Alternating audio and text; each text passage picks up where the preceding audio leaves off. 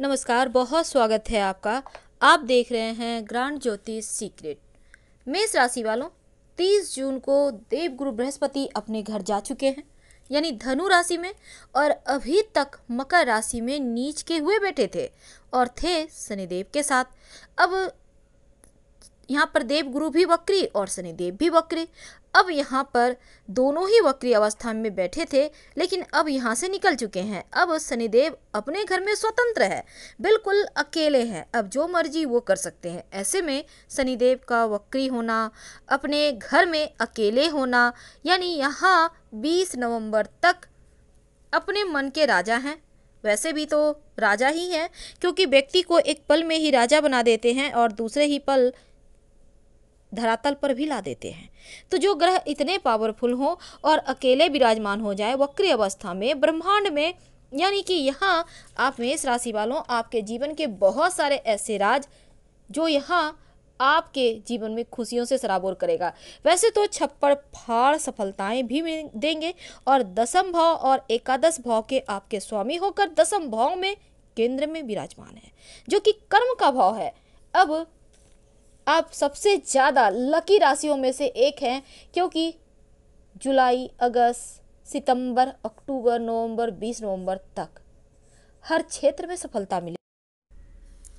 आप जिसके हकदार हैं, वो तमाम चीज़ें आपको देंगे। ऊपर से देवगुरु बृहस्पति भी भाग्य स्थान पर केतु के साथ है, यानी आपकी पूरी लाइफ ही बदल जाएगी। हमने देवगुरु बृहस्पति का फलाफल आपको बताया कि कैसे आपकी लाइफ में बदलाव लाएँगे और कैसे आप अपनी लाइफ को बेहतर करें। हमने आपको तमाम बातें भी शेयर की। आज हम जानते हैं शनिदेव के बारे में। जब यहाँ अकेले होंगे आपके दसम भाव में, तब आपका मेहनत, आपका कर्म आपको ऊंचाइयों पर पहुंचाएगा। इस समय तक आप जो मेहनत करके भी आपके हाथों में कुछ नहीं आ रहा था, अब एकदम से चीज़ें अब बेहतर होने लगेगी। और यहाँ शनिदेव वक्री तो चल ही रहे हैं। अब यहाँ से थोड़ी सी जो स्किन की परेशानी आपको दे रहे थे, देव गुरु बृहस्पति शनिदेव के साथ बैठकर, उसमें भी अब आपको राहत मिलेगी।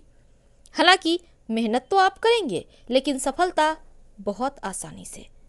अगर आप जॉब करते हैं तो यहाँ आपका प्रमोशन भी करेंगे, और अगर आप अभी तक जॉब नहीं है आपके पास तो यकीन मानिए, यहाँ आपके लिए ये वक्री शनि अकेले होकर आपके लिए फ़ायदे ही फ़ायदे आपको देंगे।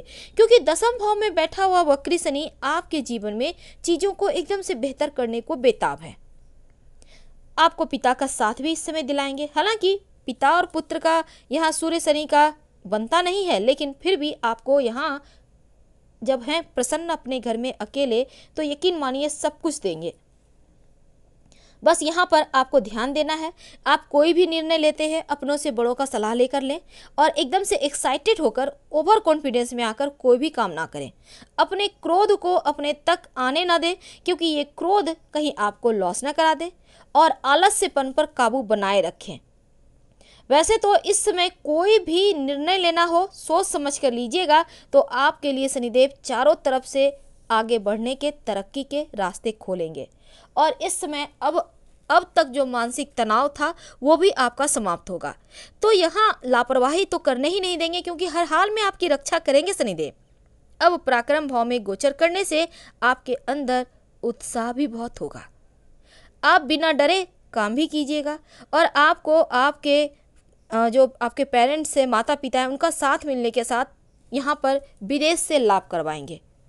हालाँकि थोड़े बहुत खर्चे होंगे, लेकिन ये सपनों के ऊपर होंगे। आपके सपनों को साकार करने के ऊपर होंगे। यानी यहाँ पर शनिदेव महाराज, जिसके आप हकदार हैं, सब कुछ दे रहे हैं। खासकर जो विद्यार्थी हैं, उनके लिए बहुत अच्छा वक्त है और ऊपर से सस नामक महापुरुष राजयोग बनाकर चल रहे हैं। और वक्री शनि, जीवन में जब देने पर आते हैं तो सब कुछ दे ही देते हैं। वैसे अभी तक जो बिज़नेस में आपको लॉस हुआ था, एक बार फिर से वो रिकवरी होगा। नौकरी चली गई थी तो अब नौकरी की आपको प्राप्ति भी होगी और यहाँ किसी कारणवश मान सम्मान खो गया था तो वो भी मिलेगा।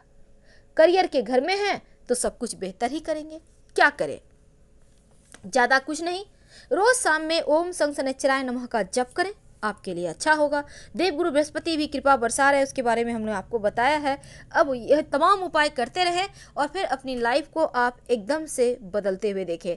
तो अच्छा वक्त है, इसका फ़ायदा आपको उठाना चाहिए। फ़िलहाल हम आपसे विदा लेते हैं। ज़िंदगी में ईमानदार बने रहें, क्योंकि कर्म के देव, शनिदेव कर्म फलदाता है। तो कर्म करने से मत पीछे हटिएगा। जितने ज़्यादा मेहनत करेंगे, समय अच्छा है तो मेहनत ज़रूर करना चाहिए। क्योंकि अच्छा वक्त जब निकल जाता है तो मेहनत करने के फ़ायदे उतने नहीं होते। इसलिए जब भी गोचर में वक्त अच्छा चले तो मेहनत करते रहें। ये मत सोचे कि इसका फल आपको क्या मिलेगा। बस ये सोचे कि आपको काम है आपका ये, आपको करना है। और फिर देखें कैसे आपको इसके पॉजिटिव रिज़ल्ट मिलते हैं। तो आप लकी हैं, आपको मुबारक। फ़िलहाल हम आपसे विदा लेंगे। हर हर महादेव, धन्यवाद।